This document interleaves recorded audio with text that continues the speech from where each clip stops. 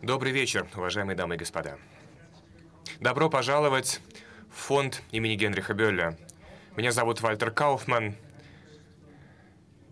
Я руковожу работой фонда Бёлля в Южной и Юго-Восточной Европе. Мы уже в восьмой раз проводим это мероприятие вместе с германским обществом Восточноевропейского региона ведения. Это ряд дискуссий под названием «Российские альтернативы». Я хочу с самого начала поблагодарить Габриэля Фрайтак, который представляет ДГО за сотрудничество, как всегда, тесное и приятное.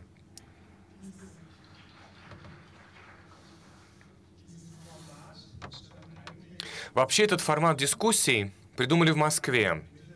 Там в середине нулевых годов, то есть где-то начиная с 2005 или 2006 года, российские либеральные интеллектуалы начали встречаться сначала в полуоткрытом формате, потом в совсем открытом формате. И они начали выступать с публичными докладами, лекциями, организовывали публичные дискуссии по поводу вопросов модернизации страны, модернизации общественной, политической.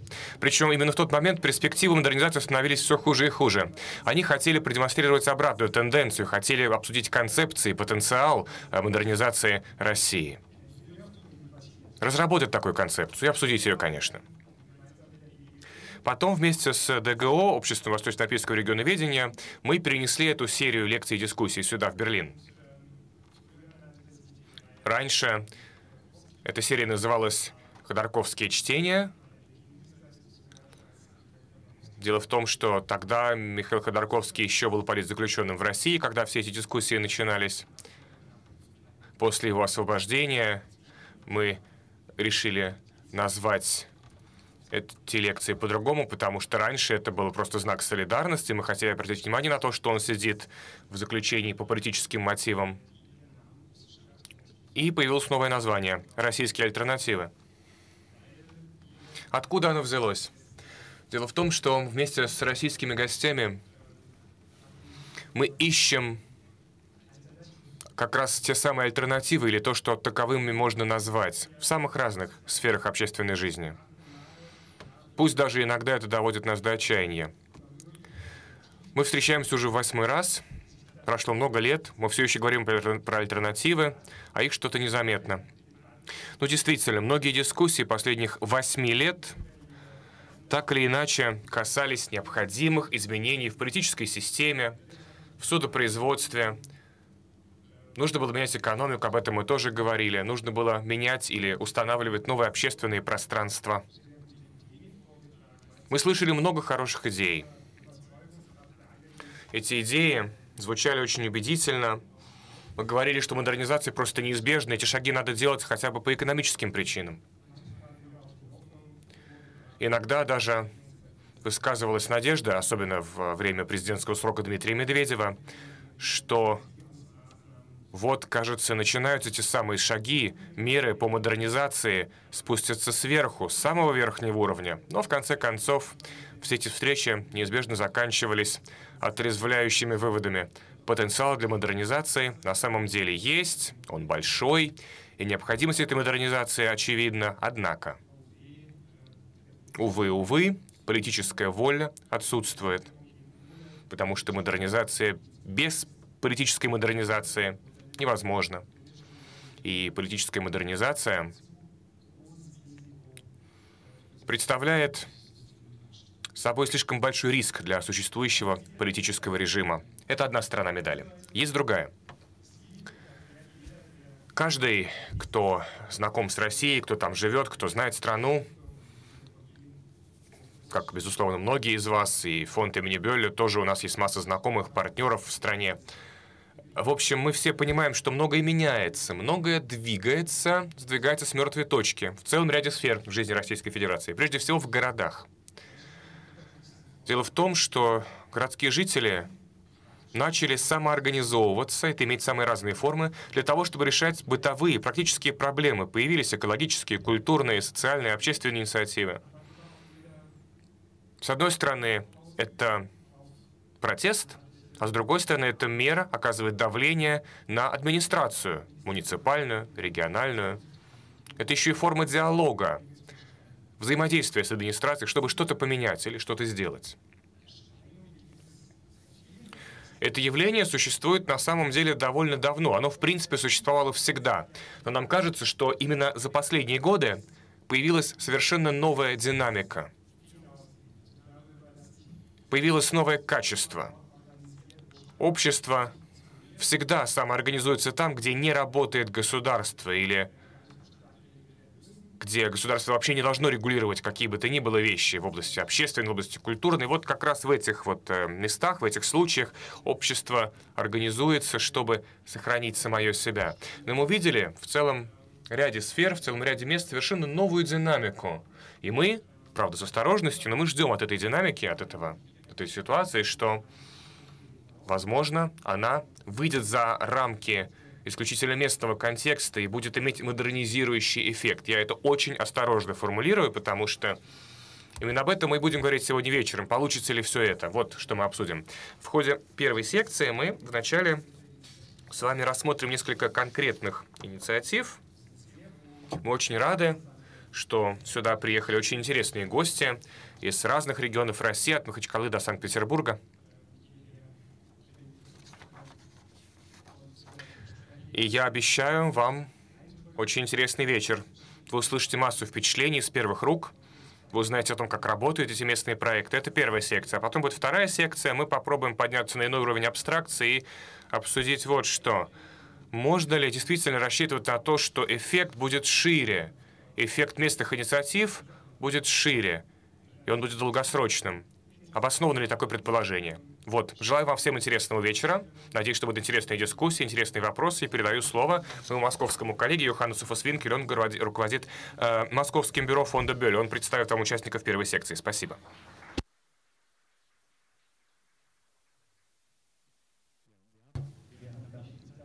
У нас не так много времени сегодня вечером. Вальтер, в принципе, уже все прекрасно описал, поэтому я думаю, что я откажусь от своего введения, вводного какого-то выступления, и сразу перейдем к делу. Давайте представим участников. У нас в гостях Элла Паниях, социолог, доцент э, Высшей школы экономики в Петербурге. Она сейчас начинает заниматься вопросом модернизации России снизу.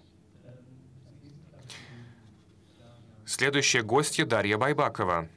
Она директор московского фиала благотворительной организации под названием «Ночлежка». Эта организация, это очень известная э, институция, можно даже сказать, в Санкт-Петербурге. Теперь есть еще и московское отделение, она, наверное, подробнее об этом расскажет сама. Я рад приветствовать здесь Арсена Магомедова.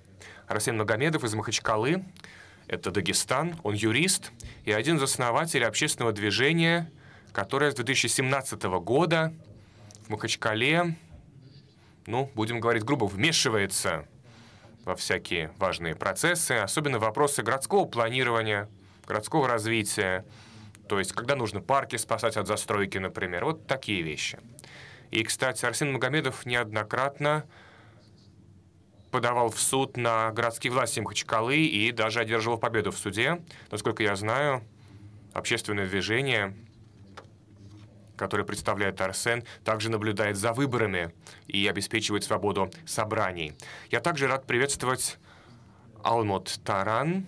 Алмут Таран дипломированный переводчица с английским языком и с языком хинди. Она а, член фракции Союза 90 зеленых в районном собрании района Панков. Она также была депутатом Берлинского городского парламента. Ну и кроме того, госпожа Таран входит в правление независимого института по вопросам экологии. У нас, как я уже сказал, не так много времени. Гости очень интересны. У нас всего час 15 минут. Я думаю, что примерно 15 минут мы будем говорить здесь, со сцены, а потом у вас у всех будет возможность задать вопросы э, нашим гостям. Я бы хотел, если позволите, начать с представителя меньшинства на подиуме Арсена. У нас здесь, видите, меньше мужчин, чем женщин оказалось на сцене. Э, Махачкала действительно для многих звучит очень экзотически и про Дагестан мы здесь мало знаем. Арсен, поэтому я хочу вас попросить, расскажите, пожалуйста, про вашу инициативу, про ваше общественное движение, чем вы занимаетесь и каких успехов вам удалось уже добиться. Прошу вас. Добрый вечер. Э, если вкратце, хотел бы сначала сказать вкратце о самом регионе. Дагестан. Дагестан — это Северный Кавказ. Немного специфичный регион. Э, он не совсем похож на в целом Российскую Федерацию, как наверное, вот если брать власть, чтобы понимали, последние, из последних четырех мэров э, Дагис, Махачкалы трое э, находятся сейчас в тюрьме. Э, это, допустим, первое, чтобы вы понимали, какой уровень там, э, грубо говоря, нарушений и существует в нашем регионе. И если говорить о населении, население характеризуется такой эмоциональностью, экспрессивностью. Вот мы как бы малые народы, мы горцы, мы эмоциональные, с одной стороны, с другой стороны, по уровню терпения всего, что там с нами делает там власть, наверное, мы вот более терпеливее, чем вся остальная часть России. Я, я так почему-то вот думаю, потому что то, чего давно бы там шумели бы, не возмущались бы в Москве по каким-то действиям, вот у нас это все терпелось до последнего. И э, вот откуда вот вообще вдруг мы появились? В 2017 году так получилось, что губернатор, так скажем, Дагестана решил вдруг э, организовать такой проект по, зас, по постройке большого музея а, в городе Махачкале. А, так, а у нас ситуация в Махачкале такая, что у нас, в принципе, уже застроено все. И у нас, грубо говоря, город закончился. То есть у нас... Э, нет каких-то свободных территорий, вот все застроили, и, и, и ничего лучше не придумал этот губернатор, как взять, построить э, на территории больше, чем одного гектара э, в центральном парке Махачкалы. В том месте, который и так уже, в принципе, по, по частям где-то застраивался, но вот это был такой удар по центру Махачкалы, который сплотил всех. Э, вот у нас, кстати, одна из проблем, что у нас население не любит э, соединяться, сам, самоорганизовываться что-то, э, но тут это схватило, обхватило всех, и светский слой населения, и религиозный, и там либеральный, и консервативный. То есть как-то вот этот парк затронул всех, и это стало толчком к тому, чтобы появились мы, то есть появилась группа людей, которая открыто заявила, что там мы против этого. Мало того, что мы открыто заявили, мы еще начали совершать действия от общественных э, до юридических. То есть мы там обращались в прокуратуру, суд. И вот это послужило таким толчком. Кстати, мы за это и благодарны, можно сказать, этому бывшему губернатору, за то, что он нас объединил. В дальнейшем этот опыт оказался успешный, то есть власть не ожидала городская, региональная такого сопротивления массового. Это было, наверное, первое, вот, что за всю историю у нас Дагестана, чтобы кто-то вот так открыто выразил свое «нет». И мы вот победили, победили и юридически, победили, и вот в итоге сама власть отказалась от, этого, от этой идеи.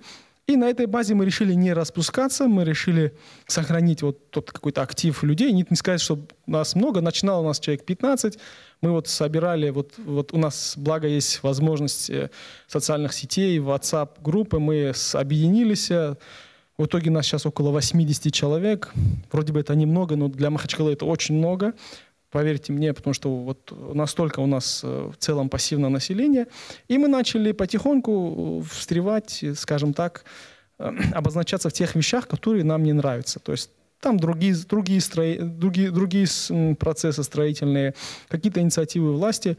И вот на данный момент мы как бы вот существуем, и э, к нам э, мы начали параллельно с, коммуницировать э, с другими организациями.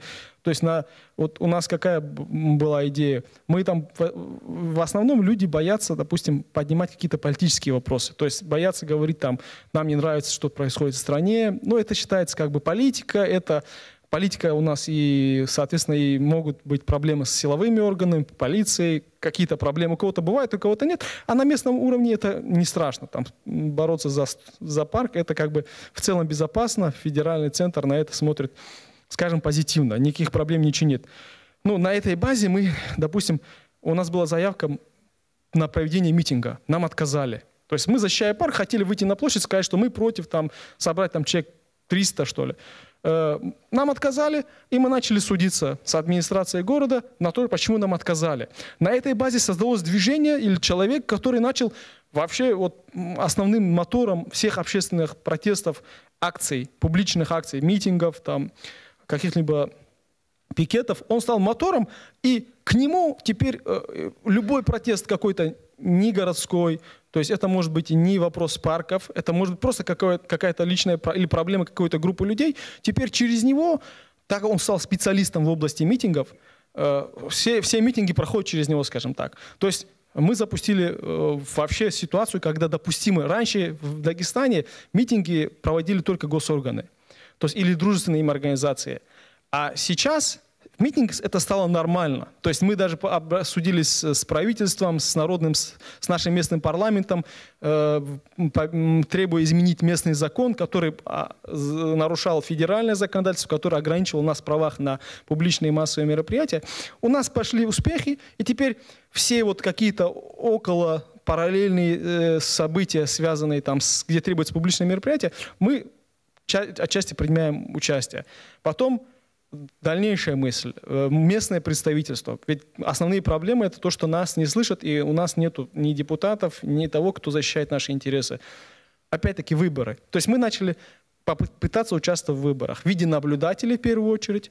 И это тоже, ну, у нас выборы проходят, конечно, в Дагестане не очень хорошо. У нас в том смысле, что вообще они, можно сказать, не проходят. Э, в том смысле, что там назначают, ну там, там не убирают, вот скажем так, откровенно говоря, в Дагестане не убирали депутатов. А э, депутаты у нас покупали э, эти должности а у местных губернаторов.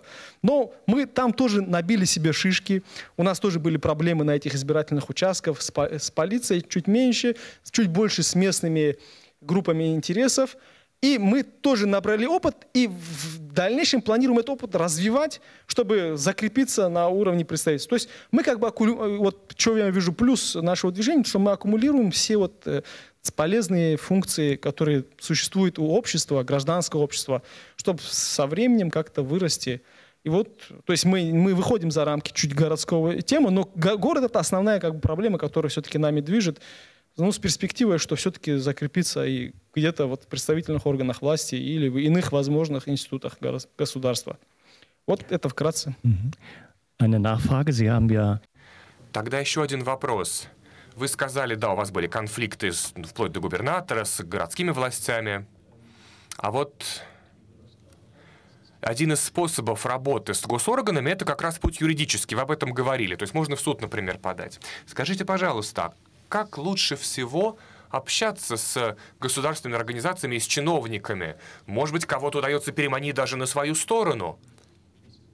Может быть, удается какие-то инициативы проводить совместно с городскими властями, они даже могут быть успешными. Сказать, что мы только воюем, наверное, то есть только боремся с, с городскими органами неправильно. Сейчас нас начали замечать, сейчас нас даже приглашают на некоторые мероприятия, учитывают наши мнения. Даже тот парк, мы, после этого парка мы отбили еще один, допустим, сквер от застройки, и сейчас к нам администрация, мэрия города отправляет людей, которые хотят облагородить этот сквер. И они говорят, вот, э, вот этот город наш, наша организация, она его защитила, теперь согласуйте с ним, что, что, что они хотят там видеть. То есть как бы сейчас нас, в принципе, начали, скажем так, немного замечать, но если говорить о взаимодействии с государством, с городскими властями, э, ну так получилось, что до нас, наверное, никто не знал, что такое судиться, что такое вот возмущаться. Вообще, в принципе, у нас особо не было возмущения, насколько я помню. Но вот, вот если оно и было, оно было вот эмоционально, какое-то кратковременное. А сейчас мы поняли так, что вообще есть там это не наше, как говорится, изобретение, это изобретение там специалистов по общественной борьбе. Они говорят, что три составляющие обще общественного движения. Группа, то есть всегда должна быть группа лиц, которые э, один заболеет, второго испугают, э, третий что-то отойдет. Всегда кто-то продолжать должен. Второе – это пиар, журналисты, СМИ, то есть привлекать внимание к своей проблеме. И третье – обязательно юридические действия, суды, жалобы. И если это в совокупности все э, запустить, то, в принципе, это работает. И на нашей практике так и получилось, что это работает. Когда мы просто подаем в суд, когда мы, вот у нас была практика, когда мы просто подавали в суд, нету шума, суды нас так мягко, нежно от, отталкивали в стороны и препоны создавали, которые нам не давали даже дойти до суда, до процесса. Нам возвращали документы. Но если есть шум, уже суды себя так не ведут. А, но если есть шум, но нет обращения в суд, то, соответственно, это тоже результата не дает. Ну, пошумели, чуть-чуть власть сжалась, чуть-чуть испугалась, но время-то проходит, а статус-кво остается такой, что э, победители вот, администрация, поэтому пока, мы, пока суд не примет, допустим, решение признать незаконным застройку парка, сколько бы мы ни шумели, результата нет. Поэтому все это в совокупности ну, работает, э, по крайней мере, вот пока у нас работает.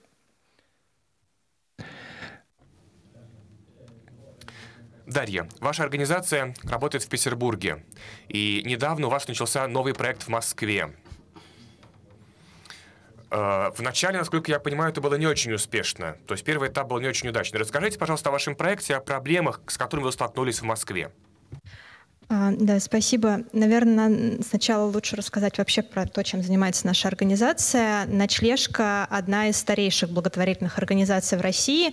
Она появилась, это общественная организация, которая появилась в Петербурге в 90-м году. И э, вот уже 28 лет э, мы помогаем бездомным людям э, в Петербурге.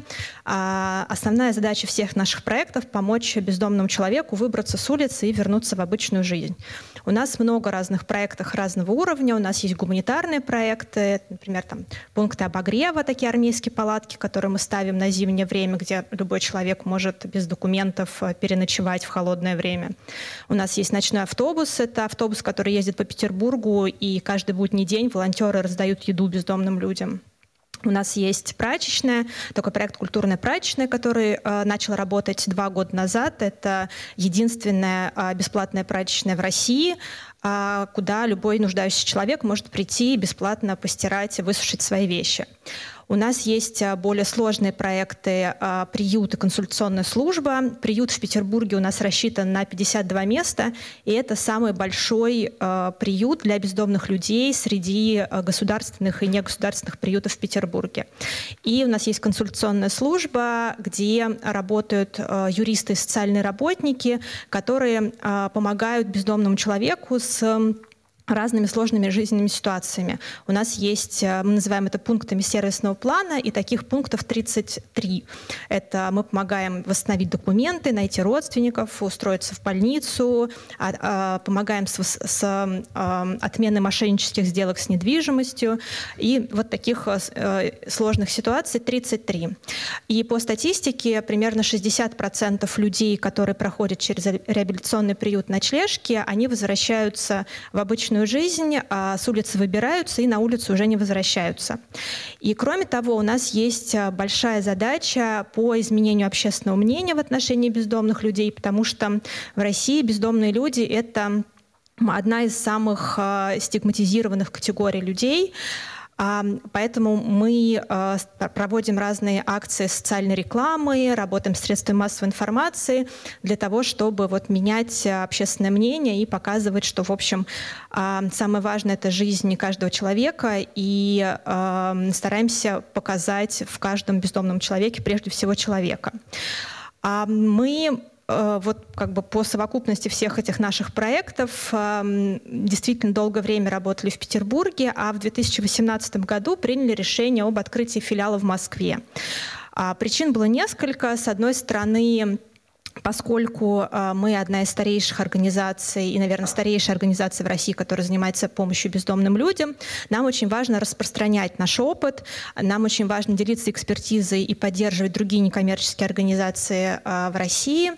А, кроме того, работая с общественным мнением, нам очень важно рассказывать про помощь бездомным людям и, нашим, и наши проекты и в федеральных средствах массовой информации, и разговаривать с федеральными чиновниками. И понятно, что что из Москвы делать это гораздо удобнее. И кроме того, в Москве, то есть если по нашим оценкам в Петербурге живет э, порядка 60 тысяч э, бездомных людей, то э, в Москве, конечно, и город больше, и бездомных людей тоже больше, а проектов э, не хватает. Поэтому мы э, вот, открыли филиал, э, московский филиал в, в, в этом году. И из всех наших проектов, то есть у нас не было задачи перенести все наши работающие проекты из Петербурга в Москву, мы посмотрели, каких проектов в Москве больше всего не хватает, потому что в Москве больше организаций, в основном религиозных, которые помогают бездомным людям, но в основном это гуманитарные проекты, которые а, людям помогают на улице не умереть, а, а чтобы вот проектов, которые бы занимались долгосрочным сопровождением и помогали бы людям выбираться с улицы, в Москве не хватает. И поэтому мы из всех наших проектов выбрали приют и консультационную службу как, а, как такие флагманские проекты, а из гуманитарных проектов мы выбрали проект культурной прачечной, потому что, ну, в принципе, в России России нет таких а, а, мест, куда бы любой человек мог прийти и постирать вещи, а у нас был успешный опыт реализации этого проекта в Петербурге мы э, долгое время, сначала мы вышли в Москву с идеей э, получить помещение для реализации наших проектов от э, государства, от э, мэрии Москвы. Вот уже, наверное, 7 месяцев мы пытаемся работать с правительством Москвы э, и просить выделять, э, выделить нам помещение для работы в наших проектах, потому что мы, поскольку мы не коммерческая общественная организация, то источник нашего финансирования — это благотворительные пожертвования. Примерно 40% — это самый крупный источник э, наших доходов, а 40% это пожертвования обычных э, людей. Это люди, которые подписались на 100, 200, 500 рублей в месяц. И нам, как кажется, неправильным снимать помещение, решая такую важную социальную проблему в Москве. Нам кажется неправильным на эти благотворительные пожертвования снимать э, помещение в коммерческую аренду. Вот. Но вот уже 7 месяцев мы пытаемся получить помещение от государства, пока нам это не удалось. Пока мы получили три отказа от Департамента имущества и от прочих чиновников. Поэтому мы приют консультационную службу пока в Москве не запустили, но вместе с нашими коллегами из другого благотворительного фонда э, «Второе дыхание» мы объединились для того, чтобы открыть э, культурную прачечную. Мы поняли, что если мы поделим э, бюджет расходов на два благотворительных фонда, то мы можем снять помещение в коммерческую аренду. Мы довольно долго его искали, потому что помещение для прачечной э, найти даже в большой Москве довольно непросто там есть требования по электрической мощности, ну и, в общем, много разных параметров. В результате а, в конце августа нам удалось а, а, найти такое помещение. Мы сняли помещение, в общем, сняли ну, нужное пространство в одном из районов Москвы и анонсировали открытие этого проекта. Мы знали, ну, в общем, нам это было важно анонсировать на моменте подписания договора по двум причинам. С одной стороны, нам было важно рассказать местным жителям о том, что такой проект в их районе появится, рассказать о том, как он будет работать, послушать их а, мнение и попытаться а, скорректировать, если потребуется, а, нашу работу так, чтобы этот проект приносил пользу жителям района, а с другой стороны, поскольку мы собираем пожертвования и для работы этого проекта тоже, мы запустили фандрайзинговую кампанию по привлечению благотворительных пожертвований на работу этой прачечной. И а, история такова, что нам не удалось открыть там проект, потому что мы столкнулись с очень сильным сопротивлением местных жителей. В конце концов, местные жители э, сделали все, чтобы наш проект там не работал. И мы, ну вот, наверное, с конца августа мы сделали анонс, и, э, наверное, в середине сентября мы сделали, мы написали о том, что мы решили перенести проект э, в другой район, потому что мы вдруг, э, мы, конечно, были готовы к э, тому, что проблема, вообще тема бездомных людей и сами бездомные люди, они окружены огромным количеством мифов и стереотипов, но мы недооценили силу и агрессивность сопротивления, с которым мы столкнулись. А, была огромная кампания местных жителей, и, к сожалению, их поддержали и местные органы власти тоже. А, мы даже не смогли начать делать ремонт. Вот, ну, в общем, очень много а, такой агрессивной реакции жителей. И настолько агрессивной, что мы, в общем, вообще любое противостояние — это совсем не наш формат работы. И сначала мы надеялись, что мы сможем побольше рассказать про то, как работает проект, показать наш опыт работы в Петербурге, рассказать, как это работает в других странах. А, вот. Но в какой-то момент мы поняли, что а, есть а, такая радикально настроенная а, группа жителей, которые, ну, в общем, сделают все возможное, а, чтобы мы там не работали. Поэтому мы поняли, что лучше перенести проект в другой район. И сейчас находимся на этапе поиска нового помещения вот для того, чтобы запустить этот проект. Он обязательно будет, но в другом районе. Wenn man sich die Schwierigkeiten mit dem ersten Но вот если посмотреть на такие сложности, а, чему вы научились из этого? Какие уроки вы вынесли из тех сложностей, с которыми столкнулись э, при организации проекта в этом проекте, и как его готовить тогда уже в другом районе Москвы? А мы долго для себя пытались понять, э, что пошло не так и где мы ошиблись. С одной стороны, мы уверены в том, что само помещение, которое мы нашли, мы выбрали правильно. Мы э, уверены в том, что проекты помощи бездомным людям должны располагаться в шаговой доступности и быть э, открыты во всех районах города. И нам не кажется правильным, сейчас в Москве, например, есть такая тенденция, и на самом деле во многих городах в России есть такая тенденция по выводу проектов помощи бездомным людям в такие кластеры, а, желательно подальше от центра города, а, а лучше из-за предела города. Нам, ну, в общем, нам кажется, что это не так, и это неправильно. Поэтому с точки зрения а, того, что, ну, чтобы вы еще понимали, помещение, которое мы выбрали, это завод, бывший завод, который расположен в жилом районе, но это такой двухметровый забор, колючая проволока, отдельный вход, охрана. А, то есть это абсолютно не жилое, то есть мы заранее не рассматривали а, помещение, например, в, на первом этаже жилого дома, понимая страхи жителей, там какие-то стереотипы, которые есть. А, поэтому с точки зрения выбора помещения, места и расположения, мы до сих пор уверены в том, что мы все сделали правильно, и мы, в общем, а, будем продолжать настаивать на том, что эти проекты должны быть доступными для тех людей, которым нужна помощь.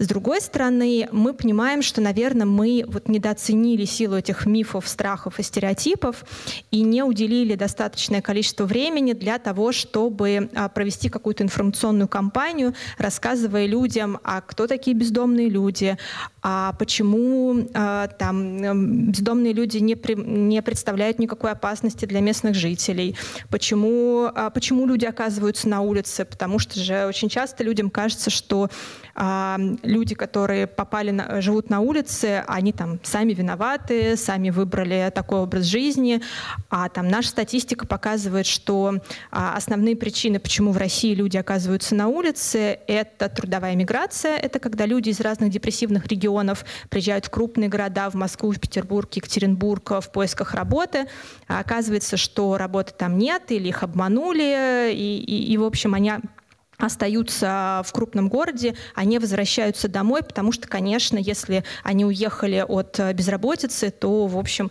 и возвращаться-то им а, некуда. И всегда есть надежда, что в крупном городе проще найти работу, проще а, выжить. А, Кроме того, есть э, еще примерно треть э, бездомных людей, которые живут, э, которые находятся на улице. Это они оказываются там в результате семейных конфликтов. К сожалению, родители выгоняют на улицу детей, дети выгоняют родителей, и примерно еще там 20% это жертвы а, мошеннических сделок с недвижимостью. Это одинокие старики, это выпускники детских домов, которых обманывают а, там, черные риэлторы. Поэтому, в общем, то, что мы бы сделали и сделаем обязательно по-другому, это больше времени инвестируем в просветительскую такую кампанию, рассказывая о том, как будет работать этот проект, стараясь, в общем, снять заранее все вот эти страхи и опасения, которые у жителей возникают. Ella, Могу вас процитировать. Вы недавно говорили о модернизации снизу. Вот у нас были примеры сейчас э, подобных инициатив в России. Вы писали, что изменение общества в России происходит, и оно происходит необратимо. Архаическое государство сталкивается с э, обществом, которое становится все более активным, и которое, как вы написали, имеет собственный ответ на такое государство. Скажите, это действительно некая общая, всеобщая тенденция к такой активизации общества и, возможно, к изменению страны снизу в России? Смотрите, какая картина возникает. Вот у нас есть однозначно самый продвинутый, самый прогрессивный регион России – город Москва. Есть один из самых традиционных, наименее продвинутых, не в обиду будет сказано, да, а регионов, значит, которому принадлежит Махачкала. И в Махачкале мы видим, что группа активистов, самоорганизовавшись, привлекая современные средства самоорганизации, привлекая даже, вот вы говорили про знания, да, вот есть специалисты по общественным движениям, которые а, рассказали вам, что, например, судиться и э, работать с прессой надо одновременно. И это два самоподдерживающихся процесса. Я вам по секрету скажу, что эту великую мудрость а, западные специалисты по общественным движениям а, осознали примерно на примере движений 60-х годов в Европе и США. Изучая их, вот стало понятно, что это правильная тактика. Еще много чего стало понятно, о чем я с удовольствием расскажу в кулуарах. А, и это, оказывается, даже в такой, ну, достаточно запуганной республике, да, запуганной властями, коррумпированной и так далее, оказывается почти непреодолимым оружием. Потому что вот только самые прогрессивные люди умеют так делать, умеют самоорганизовываться так, как самоорганизуются люди в современном мире, как самоорганизуются люди в современной Европе. Самоорганизация – это скилл, это э, умение – это набор социальных навыков. А современный человек э, на Западе э, сам не замечает, как много этих знаний и умений у него есть, даже если он сам не активист. Он мгновенно знает, там, как позвонить журналистам, как напечатать листовку. Э, не знаю, я не знаю, как в европейской, в американской школе классе в шестом Школьники пишут письмо сенатору в качестве занятия по литера... задания по литературе. Вот найдите проблему, которая вас волнует, напишите письмо своему сенатору. Да? А, а, вас этому учат. Нас от этого отучали. Я родилась в Советском Союзе, в школу ходила еще в Советском Союзе. Любой признак самоорганизации, каким бы не политическим он ни был, а, вызывает скандалы и истерику. А, значит, э, эти умения люди, живущие в России, набирают с нуля. Но, естественно, люди прогрессивных демократических взглядов набирают их первыми. Молодые набирают их первыми по сравнению со старыми образованные первыми по сравнению с менее образованными. Поэтому вот движение, вдохновленное какой-то прогрессивной идеей или другой идеей, которая привлекает именно эти прогрессивные слои населения, национализм в частности, к сожалению, а, она, ну, как бы вот, вот первая получает такое представительство. А, но на примере Москвы мы видим, что теперь вот это, вот эти социальные навыки, вот эти скиллы дошли до более консервативных, более ригидных, менее прогрессивных и демократичных слоев населения. Я не думаю, что вы недооценили стигму, которой пользуются бездомные, количество страхов, количество мифологии. Я не верю, что в 90-м году в Петербурге этих страхов было меньше, чем в 2017-2018 в Москве. Все-таки какое-то образование идет. Все-таки какую-то пропаганду люди уже там почти 30 лет слышат на эту тему. Какая-то гуманизация отношения к людям, попавшим в трудную жизненную ситуацию, происходит. То, то, то что, например, вовсе не прогрессивные религиозные организации, включая РПЦ, занимаются помощью бездомным, этому свидетельство.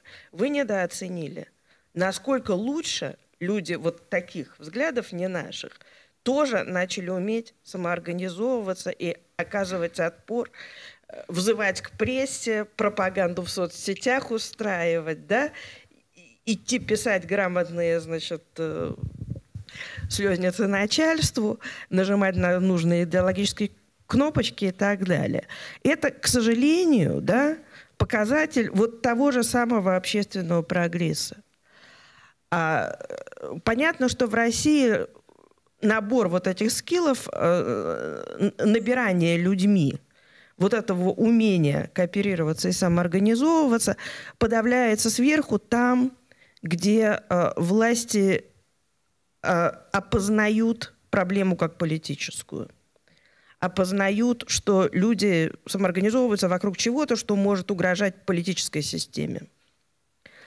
Но эти процессы не останавливаются. Вот там, где идет разговор об отношении к бездомным, там, где идет разговор, не знаю, о балансе власти в семье, в большой степени о правах женщин, об отношении к, ребю... об отношении к ребенку, об отношении к больному в больнице. То есть там, где общественная самоорганизация долго летает как бы под радарами вот этой вот политической цензуры. То есть э, я, я, я боюсь, что мы теперь чаще будем сталкиваться вот с тем, что у конфликта, который как бы не политический, тоже две стороны, две разные группы интересов. И да, и вторая сторона тоже замечательно самоорганизуется. Можно короткий, короткий комментарий по поводу людей, которые, которых мы увидели а, в районе, собственно, в котором пытались открыть прачечную. На самом деле самым большим потрясением, можно сказать, для меня было, что это молодые, хорошо образованные а, жители Москвы. Это те люди, которые а, какое-то время назад боролись э, против реновации э, в Москве. Это замена старого жилья на, на, на новое. А, эти же люди борются против э, высотной застройки в парках в своем районе. А следующим шагом они боролись против социальной прачечной. С, к, к сожалению, ну то есть в там, каких-то выступлениях против высотной застройки парков э, или, может быть, даже реноваций, вообще-то я бы стояла рядом с ними. Но потом оказалось, что ровно эти люди, которых, э, от которых, может быть, я в меньшей степени ожидала такое противостояние, они стали бороться с культурной прачечной, мотивируя это тем, что нехорошо, когда бездомные люди приходят в благополучный район, потому что там, не знаю, и дальше куча стереотипов и мифов, которые не имеют ничего общего с реальностью. Ну, то есть это, в общем, одни и те же люди, как оказались. Это вот то, то самое гражданское общество, которое... То есть, с одной стороны, э, мне было ужасно приятно, что вот люди в Москве объединились для того, чтобы отстаивать э, какие-то ценности, и делают это настолько отчаянно и, э, и с таким энтузиазмом. А с другой стороны, вдруг оказалось, что вот есть какие-то вопросы, в которых мы в одних вопросах мы, у нас есть одни ценности, с которых я, которые я разделяю, а вдруг э, делаешь шаг в сторону, и это, это вопрос, в котором ну, просто разные миры. Если, äh, wenn man auf а если э, посмотреть на темы, я ведь неспроста сказал меньшинство на подиуме. Если посмотреть на список участников нашей сегодняшней дискуссии, то это в основном женщины. Они представляют интересы, они действуют активно. Почему это так? Это результат того, что женщины такая вот активно движущая сила общественных процессов или всего общества? Э, среди активистов много женщин, это правда. И э, многие движения как-то стоят скорее на женщинах, чем на мужчинах. И э, часто создается впечатление, что женщины меньше боятся. А в России э, сейчас уровень реального гендерного равенства ниже, чем в Европе, но гораздо выше, чем э, большинство других проблем. Ну, вот чем, чем можно предположить, если думать о, ну, о проблемах того же того же сорта, если можно так выразиться, да, о проблемах э, вот, вот, вот современного или архаичного устройства мира. Да? А, российские женщины работают с 17 года, а, причем их на трудовой рынок выгнали пинками в, в, в пределах одного поколения, а вовсе не они боролись три поколения за то, чтобы им разрешили работать. А, в позднее советское время существовало, вполне это была разрешенная, одна из немногих разрешенных тем такого рода, существовало такое движение за то, что ну разрешите женщинам быть домохозяйками, если они хотят. Ну не давите на них так, чтобы они обязательно были, значит, спортсменками-комсомолками. а, а также, значит, непременно работали. А, значит, в России гендерный разрыв по зарплате чуть ниже европейского, чуть, чуть, извините, чуть выше европейского, конечно, примерно равен американскому. Мы понимаем, что любой гендерный разрыв в зарплате это нехорошо, но он равен не, не, не какому-то ужасному, да, а всего лишь американскому. Где-то 25%. А, и российские женщины сейчас а, ну, они, они достаточно активны, они достаточно ресурсны и одновременно достаточно образованы, между прочим. А, и при этом в очень высокой степени чувствуют себя угнетенными вот теми, теми остатками патриархата, которые реально есть. Вот, поэтому ничего удивительного, что во всех активистских движениях много женщин, да, ничего, ничего удивительного в этом нет. Мне кажется, тут ну, как-то и будет больше.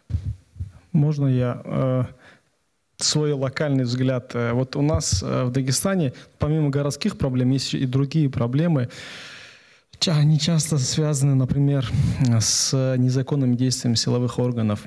И когда, бывает, похищают молодых людей, пропадают, или у них обнаруживают какие-то там наркотики, оружие, и, как правило, в защиту вот этих ситуаций выступают женщины. То есть, если у нас э, собираются вот какие-то публичные мероприятия, там, э, то это женщина бывает чаще всего. Вот э, там 10 матерей, условно, выйдут на площадь там, или еще что-то. В основном женщины, иногда старики. Это вот, вот у нас это объясняется тем, что женщины более защищены от противодействия силовых органов. Потому что если это будут э, мужчины, их либо разгонят силовым образом, либо создадут проблемы потом. С женщинами это сделать сложно, и в этом смысле они выигрывают, э, вот в части защиты они выигрывают. Ну, потому что как бы общественное мнение, не, я думаю, у нас не смирится с тем, что как-то будут притеснять женщин. Вот как вроде бы это казалось бы, это Кавказ, там, где женщины вроде бы ущемлены в правах, как бы такие стереотипы. А в этом вопросе женщины, они более защищены. Поэтому тут вот надо это тоже понимать. Ну, тут, тут, тут тоже, да, это, это, это, это еще одно проявление того, что у вас еще много традиционного в обществе. Я думаю, что в Москве и Петербурге тоже женщины защищены чуть лучше, да, вот этим, от, от прямого насилия, да, от прямого там, силового разгона, например, на митинге, а, но в гораздо меньшей степени. То есть, ну, равенство работает в обе стороны. Больше равенства, больше готовности, значит, как-то подвергать репрессиям. Но, кроме того, существует еще такое известное социологическое правило, что э, мужчин и женщин общество в котором существует патриархат, репрессируют по-разному. Да, та, та, там, где мужчину посадят в тюрьму, женщину упекут в психушку. Вот та, такого рода еще вещи бывают. Wir haben jetzt einen Einblick bekommen in ну вот мы получили обзор. Обзор некоторых проектов, инициатив, поговорили об изменениях, которые, ну, по крайней мере, намечаются в российском обществе. А, Алмут, вы можете это сравнить с вашим опытом? Общественные инициативы на местном уровне. Как надо действовать? Как надо общаться с государством, с госорганами? Вы многое узнали? Или ваш опыт сильно отличается, опыт тот, который вы получили здесь, в Германии? Может быть, вы тоже чему-то научились во время вашей активной фазы? Особенно в плане того, как влиять на государство и на общество местными инициативами через них?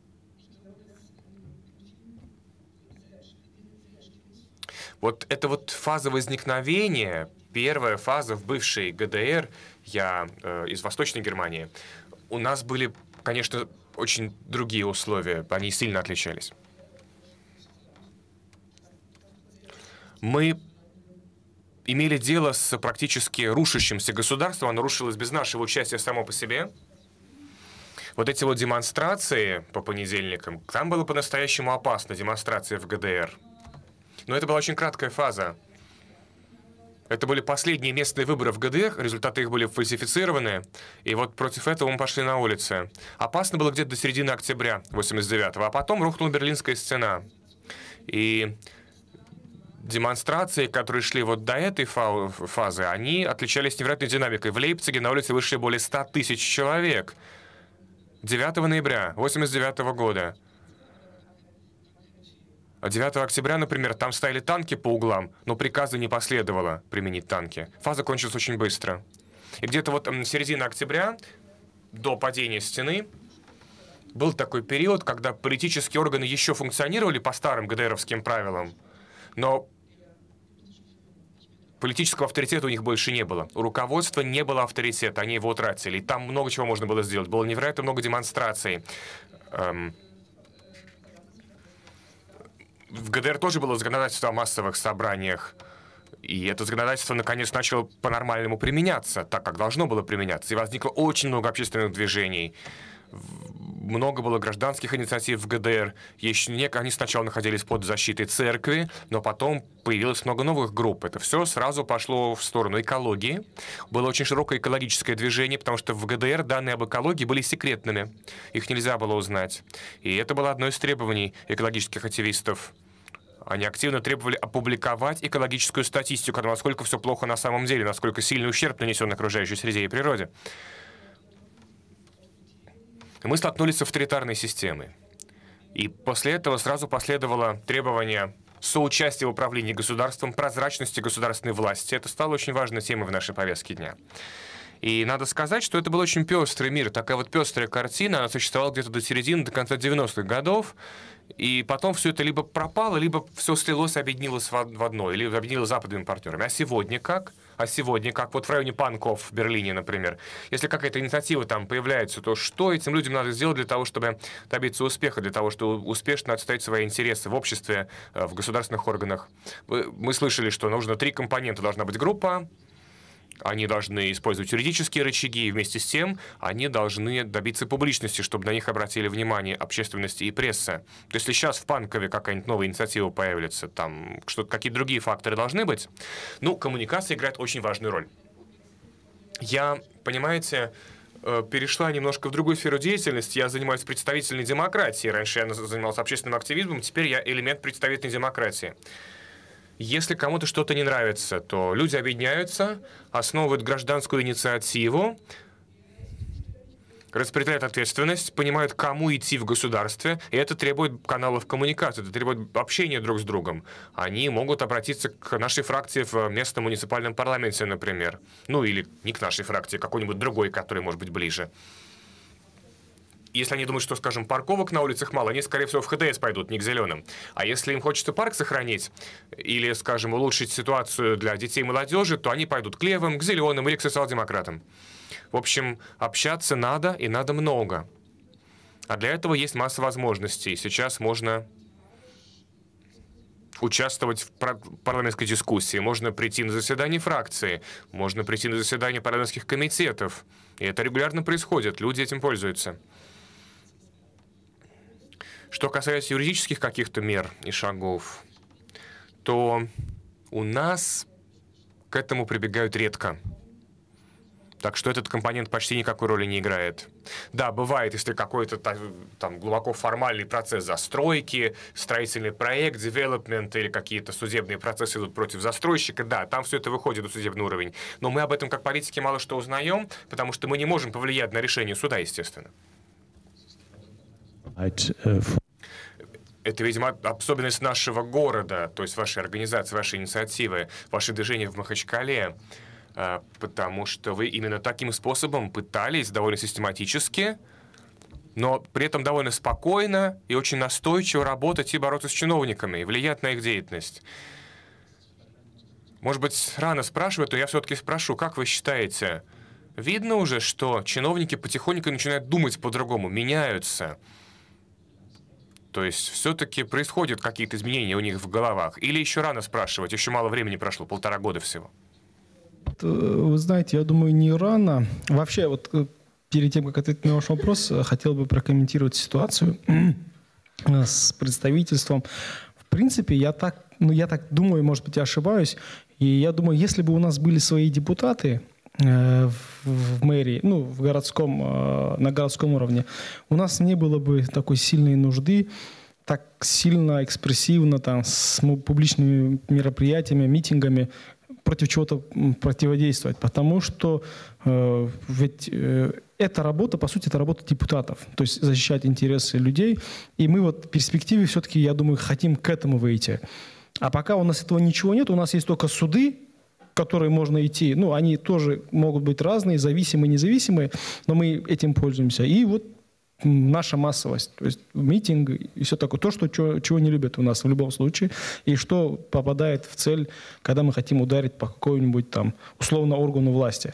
А насчет того, что чиновники меняются, в нашей борьбе, вот лично я исхожу из того, что в, в мэрии или в иных органах власти всегда есть э, группы сил, которые между собой борются. То есть есть очень плохой чиновник, есть Э, средний плохой чиновник, немного плохой чиновник, или там как-то вот. То есть и мы вот пытаемся вот в этой поиграть, поиграть в эту игру. Мы начинаем как-то заинтересовывать этих э, не самых плохих чиновников, э, чтобы они попытались повлиять на, на других, и это иногда работает. У нас были суды, э, когда э, вот у нас как обычно идут суды, и официальные государственные СМИ об этом всегда молчат. Э, не показывают вообще, что что-то происходит. Но у нас, для нас было удивление, когда мы судились по одному скверу, к нам на процесс пришла республиканская телевизионная компания. То есть она вот э, начала оператор с камерами, и я понял, что что-то произошло. Что-то произошло, почему? Потому что просто так они не приходят на суды. Значит, нас кто-то там э, в властях решил по, по, по, поддержать против э, тогдашнего мэра Махачкалы. И как бы вот это то первое, чем мы пользуемся, пытаемся сыграть на противоречиях этих людей. Ну, когда это получается, когда нет, не знаю. Ну, то есть мы просто об этом думаем. А что говорить второе у нас на практике? Сейчас действительно, когда некоторые спорные ситуации, когда, допустим, город продает землю в парке или в сквере, и мы начинаем шуметь, уже из-за одного шума администрация отказывается. То есть нам даже уже судиться не надо. То есть, в принципе, э, вот учитывая, что трое из четырех мэров уже в тюрьме, то есть каждый новый мэр, он уже он более такой осторожный, более пугливый. И, и мы этим пользуемся. То есть, ну, как бы по-другому пока не видим никак. И надеемся, со временем они из пугливого как бы, состояния перейдут в конструктивное состояние, когда начнут уже не из-за страха, ну, не то чтобы они нас боятся, но как бы все равно какая-то боязнь есть, а из-за желания пойти навстречу горожанам, сделать что-то хорошее, вот тогда они начнут нас чувствовать. Но пока вот до этого уровня еще не дошли, пока больше вот чуть-чуть боятся, чуть-чуть не хотят с нами связываться, но не знаю, насколько это будет всегда работать, пока вот так. Мне однажды одна активистка, Дарья, рассказывала, что если хочешь решить какую-то проблему, имеет смысл попытаться начать думать как чиновники, попытаться залезть им в голову и сделать предложение, которое выгодно и тем, и другим, и помогает решить какую-то проблему. Вот какой у вас опыт? Я не знаю, насколько вы с петербургскими чиновниками общались. Как вообще складывается сотрудничество с властями Петербурга? И что там надо делать, э, чтобы решать проблемы и так далеко зайти? У нас э, мы стараемся взаимодействовать с государством, с чиновниками в Москве и в Петербурге э, по самым разным вопросам. И по вопросам, там, не знаю, нам, например, нужно в каком-то районе Петербурга установить пункт обогрева, и нам для этого нужно разрешение городской администрации. А, или, например, там, нам нужно получить помещение от государства, или мы хотим а, заниматься усовершенствованием законодательства в каких-то областях, потому что, например, там, один из вопросов, который нас очень волнует, это что в России все права, они э, так так устроена система, что все права привязаны к системе регистрации. И в случае, если человек там, у него нет регистрации или нет документов, подтверждающих регистрацию, то он автоматически лишается практически всех прав. И наш опыт показывает, что ну, это всегда очень разный опыт взаимодействия на каждом уровне. То есть, вот, например, наш кейс э, с нашей культурной прачечной показал, что несмотря на на то, что, наверное, в какой-то степени а, это такая наша локальная неудача, но с другой стороны это привело к тому, что а, там за полтора месяца вышло 150 а, разных публикаций в разных средствах массовой информации, включая местные, федеральные, а, которые написали про а, бездомных людей, про там, мифы, которые окружают бездомных людей, про противостояние между жителями и а, нашей организацией. И это привело к тому, что, например, в, там, в России есть такой орган общественной палаты, он есть федеральный, есть на уровне каждого региона, например, в Москве. Так вот, одно за одним сразу прошло два заседания общественной палаты на уровне федеральном и на уровне Москвы по обсуждению помощи бездомным людям. И вообще а, вот за там, с 90-го года, с, э, когда а, за весь опыт э, работы нашей организации, мы не помним, чтобы вообще в России тема помощи бездомным людям обсуждалась в таком масштабе. И на уровне вообще общественном, и на уровне чиновников. И, а всего лишь триггером послужила анонс о намерении открыть прачечную в одном из районов. То есть мы там даже не успели его открыть, мы просто сделали анонс о том, что оно там будет. И это уже привело к тому, что так, так широко нач, началось это обсуждение. А так, в целом, конечно, мы стараемся там, тому же правительству Москвы, например, прежде чем там, написать обращение о просьбе выделить нам помещение, мы а, отправили целое такое предложение о том, каким образом может быть это взаимодействие, почему наша работа а, в Москве она, в общем, будет э, очень полезна городу и приведет к тому, что мы э, поможем в решении вместе с государством такой важной, э, важной социальной проблемы. Поэтому иногда взаимодействие с чиновниками получается лучше, иногда это получается хуже. Например, мы там в Петербурге уже много лет проводим акции социальной рекламы, и э, мы получили порядка 10 отказов от э, государственных организаций э, в проведении таких акций. То есть все площадки, которые выделяют нам под наши акции там, социальной рекламы, э, это коммерческие компании, которые выделяют, собственно, их площади. А там государственные органы, например, там, ну, то есть кто -то, там разные есть причины, почему нам отказывают, но вот здесь у нас пока не очень получается. Вот. Ну а с другой стороны, например, э, помещение, в котором работает наш проект в Петербурге, выделили нам государством, и мы не платим за него арендную плату, мы платим только коммунальные платежи вот уже там много лет. Ich würde jetzt gerne das Gespräch öffnen. Ähm Если есть вопросы, я вижу уже два, три. Давайте соберем три вопроса и зададим их. Если они адресуются именно кому-то из наших э, гостей, то, пожалуйста, скажите, кому именно. Через... Э, сначала зададим три вопроса, потом на них можно будет ответить. Хорошо.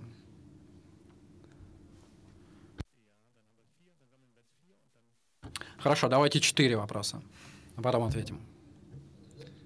Николай Клеменюк, я журналист. Я бы э, хотел э, с коротким комментарием по поводу утверждения о лапаниях выступить. Э, комментарий?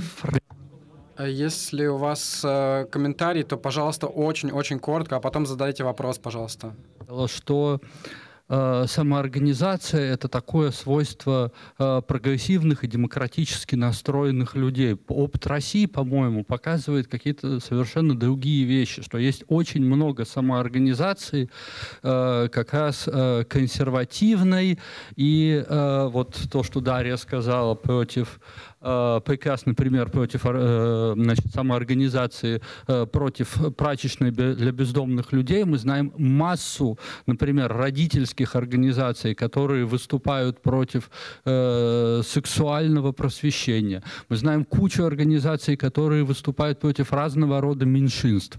Мы знаем самоорганизацию, например, в Татарстане, которая успешно добилась снижения статуса татарского языка Э, э, в самом Татарстане. И, конечно, самый выдающийся пример самоорганизации, который, сказать, не связан с прогрессивными демократическими, с прогрессивными, скажем так, моментами, это феномен Алексея Навального, который очень успешно организует людей вокруг националистической повестки. Мы помним мэрские выборы, например, Москвы 2013 года, когда он э, одной из центральных тем э, э, выборов э, борьбу с нелегальной миграцией, и московская мэрия открывала фильтрационные лагеря. Поэтому я бы, сказать, не идеализировал совершенно самоорганизацию в России, и уж тем более не отождествлял бы ее с э, с прогрессивными и демократическими течениями. Спасибо. Ich würde es dann mal wahrnehmen als eine Frage, ob nicht Selbstorganisation letztlich sogar provokanter Frage. Я постараюсь сформулировать из этого все-таки вопрос, не является ли самоорганизация, наоборот, опасностью для России? Ой, простите, я, я именно так и говорила, что самоорганизуются консервативные или реакционные тоже круги. Но у меня вопрос э, к э, Арсену. Арсен, вы с каким-то фатализмом в самом начале говорили о том, что в Дагестане нет выборов, что места депутатов покупают. А потом сказали, что э, если бы были вот у нас наши депутаты, то и необходимости в нашей работе бы не было. Я вижу в этом некое противоречие. Почему вы э, не пытаетесь э, как-то исправить ситуацию с выборами, чтобы э, у вас были шансы не только в судах, но и во время голосования? Что-что? Спасибо. Здесь еще были вот два вопроса, и потом ähm, hier sind noch zwei Fragen, und dann gehen wir die Antwortrunde über. Иванов Николай, я из Петербурга, но вопрос хочу э, задать Арсену, на который я смотрю с нескрываемым восхищением, как на нечто экзотическое, потому что до нас доходят эти вести Северного Кавказа, Э, о том, каким образом там справляются, имеют взаимоотношения органы власти с оппозиционным движением любого рода, да, либо кровавые разборки с мемориалом, с убийством оппозиционных журналистов, каким образом вам удается этого избежать? Есть ли репрессии? Или вы сейчас, или вы сейчас о них молчите, если они есть? Или э, если они есть, какую форму они принимают, если вы можете об этом рассказать? А, добрый вечер, меня зовут Мария Балановская, я из Крыма и живу в Берлине. А, у меня больше вопрос к группе. А, и что бы послужило точком для модернизации общества в России, как вы думаете? И действительно ли все зависит только от правительства? Спасибо. Dann würde ich sagen, wir machen eine Runde. Давайте тогда теперь ответим на вопросы. Я попробую их повторить. А может ли самоорганизация нести в себе угрозу для демократического развития в России? Вы ведь э, тоже практически э, столкнулись э, с тем, что конфликт был у вас в Москве с организованной частью гражданского общества. Кажется, что такая организация — это прям угроза а, каким-то решению социальных проблем а, вообще, ну то есть у этого общественного явления есть э, там, известное название NIMBY, Not in my backyard. С этим сталкиваются очень многие а, общественные проекты в очень разных странах.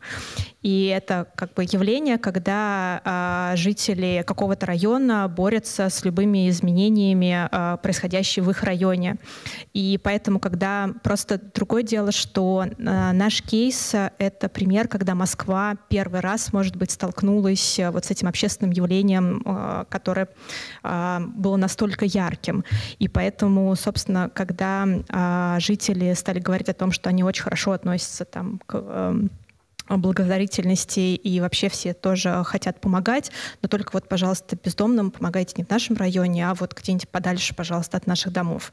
То есть э, само э, сама организация жителей, которые отстаивают свои интересы, мне кажется, очень движением в очень правильном направлении и очень полезным э, э, вектором развития. Другое дело, что, конечно, надо, как мне кажется, главный наш вывод заключается в том, что э, надо пытаться оценить, в общем, ну и работать с общественным мнением. Почему, например, наши проекты Почему мы недооценили вот такое сопротивление? Потому что за 28 лет работы в Петербурге мы конечно, э, отвыкли от такого сопротивления местных жителей. И когда мы, например, открывали в 2016 году прачечную в Петербурге, это тоже как бы проект, который, э, ну то есть по аудитории людей, которые приходят э, в прачечную, это один из самых благополучных проектов. Туда приходят люди с, может быть, с наименьшим стажем бездомности у которых еще много ресурсов, а, чтобы как-то выбраться с улицы. И ну, тогда в Петербурге мы не столкнулись, и вообще не было никаких разговоров о том, что этот проект не нужен, что нужно его перенести куда-то в другое место а, и вообще там как-то перестать э, этим заниматься. И поэтому а, другое дело, что, конечно, нам нужно было больше времени посвятить оценке общественного мнения в Петербурге, э, в Москве и как-то провести предварительную работу работу. А так в целом я, в общем, только поддерживаю объединение жителей и отстаивание своих интересов. У нас было еще два вопроса, Арсен, по поводу выборов э, и, э, и еще вопрос по поводу Северного Кавказа в целом. Я не противопоставляю депутатов и о, наше общественное движение. Я просто говорю, что ну, если бы были бы у нас депутаты, у, которые представляли бы интересы жителей города, реально представляли, э, то нам не было бы необходимости в таких слишком э, экспрессивных действиях в виде митингов, в виде вот мы иногда вот сейчас мы возможно подадим в суд вообще с, э, с идеей отменить генплан, я не знаю, есть, наверное, есть, как называется в, в Германии, генплан и правила землепользования, землепользования стройки вообще всего города. То есть у нас есть цель э, локальная, мы не можем ее добиться какими-то локальными методами, мы начинаем уже ходить с дубиной, там, маш, махай ей или полностью там, может быть, даже что-то разобьем еще не связанное с нами, но мы другого пути не видим. То есть те, у нас узкий набор инструментов. Э, вот и был, был, были бы депутаты, мы бы остались бы, но бы больше ретранслировали через депутатов, решали бы свои вопросы. Э, это к тому, что... А теперь к тому, что э, почему мы не участвуем и не влияем на выборы. Мы, мы, мы как бы видим эту ситуацию, мы хотим туда попасть, более того, я сам участвовал в качестве кандидата депутаты в региональный парламент Дагестана. Э, и мы еще были, являлись наблюдателями в местных выборах. Но так получилось, что вот эти последние два, два цикла выборов, которые у нас были, но они были, у нас, очевидно, не хватало сил что-то вообще предпринять. Нас просто задавили, вот задавили всеми ресурсами, которые есть у местных э, коррупционных, э, так сказать, элит.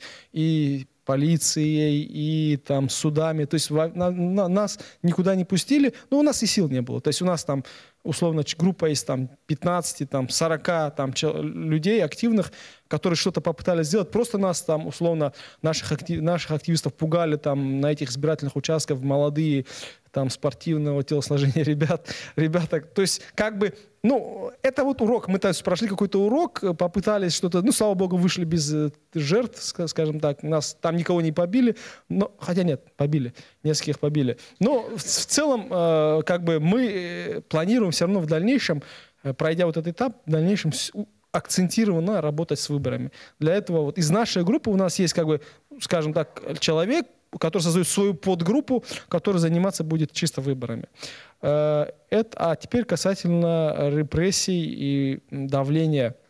Ну, конечно, э, вот недаром, наверное, у нас боятся вот этих общественных организаций на Кавказе, потому что действительно есть риск того, что ты попадешь под репрессии. Но э, тут что? Чем мы отличаемся от того же общеизвестного мемориала, которым там сжигают офиса, пугают там, э, угрожают там убийством? Они занимаются уголовными делами, и в основном их противник это органы э, полиции. То есть это действительно опасный противник, в том смысле, что они там, не все они там преступники, но очень, скажем так, они запятнали свою репутацию, как я вижу, э, в борьбе с религиозным экстремизмом у них, э, им дали, видимо, карт такой, что там вплоть до убийств, э, таких, скажем, лицензию на убийство, вот так, эскадронной смерти. То есть, ну, это такой серьезный опасный противник, и, конечно, с ним, вот мы, мы как бы не боремся с ним. Мы боремся на уровне скверов, парков, застроек, и наш противник это мэрия. И, как правило, там э, был, конечно, опять-таки ситуация поменялась. Все равно идет борьба с коррупцией у нас в Дагестане. Почему-то вот у нас начали это экспрессивно заниматься. Поэтому я говорю, что трое мэров сидят уже в тюрьме. То есть, и поэтому каждый новый мэр слабее предыдущего, и это нам дает возможность активно против него выступать. Если бы допустим, взять ситуацию 7 лет назад, наверное, бы мы не выступали. Там был такой мэр, которому просто против, было просто опасно что-то говорить. Вот там реально там не, без шансов было. А, но у нас тоже бывают ситуации, где мы все-таки с осторожностью подходим. Вот последний наш кейс – это э, борьба со строительством религиозного сооружения собора в парке. Э, стройка, стройку ведет подразделение РПЦ, Российской Русской Православной Церкви. Но это серьезный тоже противник, не с точки зрения того, что они там бьют кого-то, но с точки зрения их ресурсов. И тут э, все, все тонко было. Тонко в смысле, что э, национальная республика – выступать против строительства э, собора для национального все-таки меньшинства, в данном случае русские у нас, получается, все-таки меньшинство, это очень тонкая сфера, к которой можно попасть там сразу там, в экстремиста превратиться. То есть реально. И поэтому, э, ну, слава богу, у нас группа. То есть у нас есть свои православные в группе, свои русские, которые сами же против строительства этого собора, ну, по очевидным причинам, что это там прямо в этой части города, там Махачкале три парка, и в этой части он единственный. Он такой маленький, и еще там еще на гектар собираются строить собор, то есть вообще там его уничтожают. И поэтому мы там сразу все это обмозговав, определив, мы там подали. В суд у нас обращаются только русские, только православные, чтобы их не обвинили в том, что они исламские террористы, условно. То есть э, православный подает суд против РПЦ, и там уже как бы их не обвинишь. Митинги, за инициатив... у нас был митинг, правда, его не согласовали, но там инициатором тоже были русские. И там даже э, интересный этот э, новостной сюжет был, митинг должен проводиться был у памятника русской учительницы. И там новость такая пошла. Сегодня у памятника русской учительницы задержали русского учителя, нашего активиста, э, который протестовал против строительства русского собора, условно. Ну, то есть, э, кто понимает, тот, тот понимает, что это смешно. И хотя потом, когда нас задержали, с нами беседовали представители Центра по противодействию экстремизму. Это такая специальное подразделение полиции, которое, ну, у нее не очень хорошая, скажем так, репутация. Она занимается вот, вот такими прям жесткими методами работы с людьми.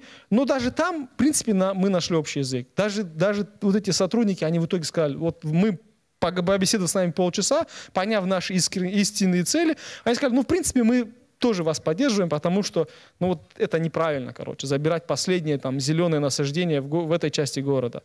Поэтому в целом нормально. То есть, э, как бы, если делать, э, пока нам везет или пока мы все это продумываем, не знаю, что, что больше, пока все благополучно и надеемся, так дальше тоже будет. Wir hatten eine vierte und letzte Frage. У нас был еще четвертый последний вопрос. Речь шла о модернизации. И мы здесь э, исходим из того, что движение идет снизу, а что должно делать государство при модернизации?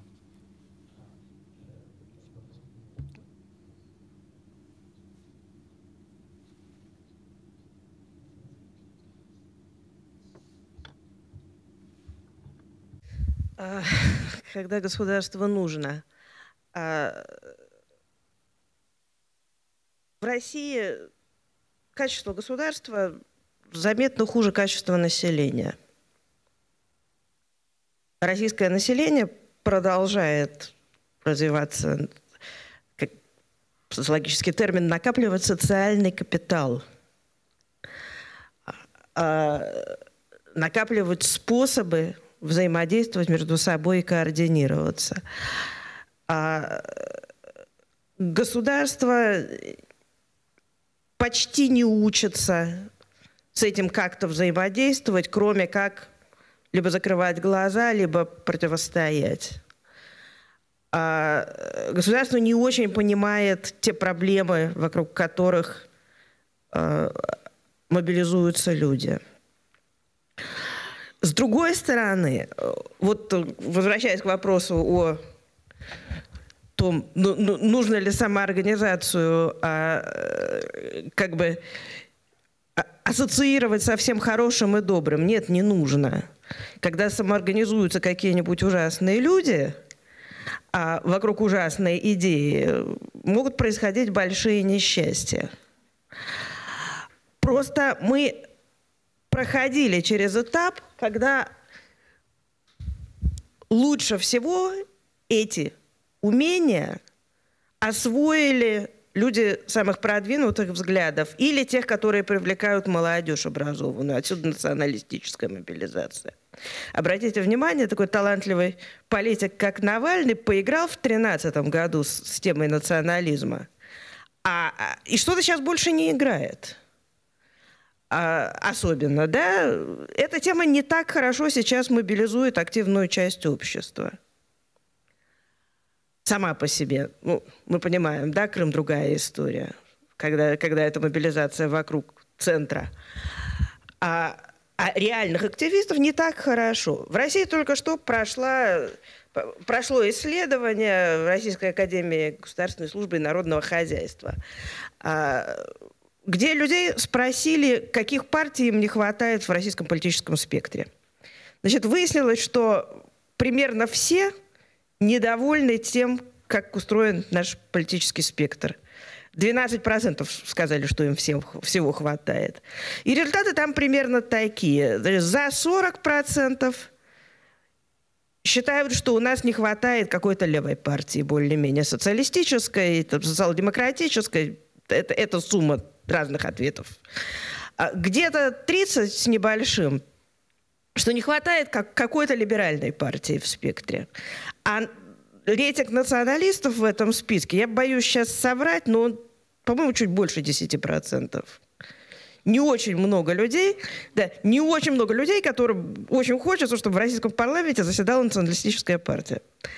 Хотя они есть, конечно. Хотя, хотя, хотя они, конечно, есть. Не надо назначенных чиновников а считать идейными людьми и хорошим заменителем реальной идейной националистической партии, которой России, с моей точки зрения, России не хватает всех трех. Потому что все взгляды должны быть, все взгляды, которые пользуются массовой поддержкой, должны быть представлены в парламенте. А иначе ну, понятно, 99% сторонников этих взглядов как-то будут себя просто чувствовать ущербными, а 1% пойдет на какие-то непарламентские методы продвижения своих взглядов. Нехорошо, когда взгляды 10% населения не представлены в парламенте. А, э, значит, э, вот государство у нас, да, оно не может взаимодействовать со всем этим спектром убеждений не говоря уже о спектре интересов. Оно не может не потому, что оно не хочет, и даже не потому, что оно какое-то такое страшно репрессивное. Оно не умеет. Оно не знает, как это делается. А, и а, у него нет возможности научиться. Оно не так устроено, чтобы научиться. Поэтому ему остается только значит, как-то либо отступать, либо давить. Государство реагирует на шум. Вот на, на шум в соцсетях государство реагирует. Иногда репрессиями.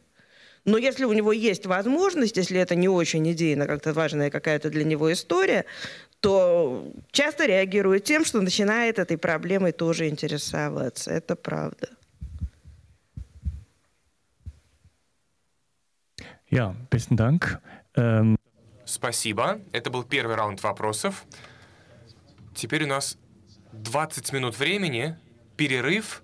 И если хотите, вы можете какие-то вопросы задать дополнительно всем нашим гостям, а потом мы начнем вторую секцию. Она будет посвящена нашему вопросу в более широкой формулировке. Спасибо большое, что поучаствовали. Небольшой перерыв, и потом продолжим. Продолжим.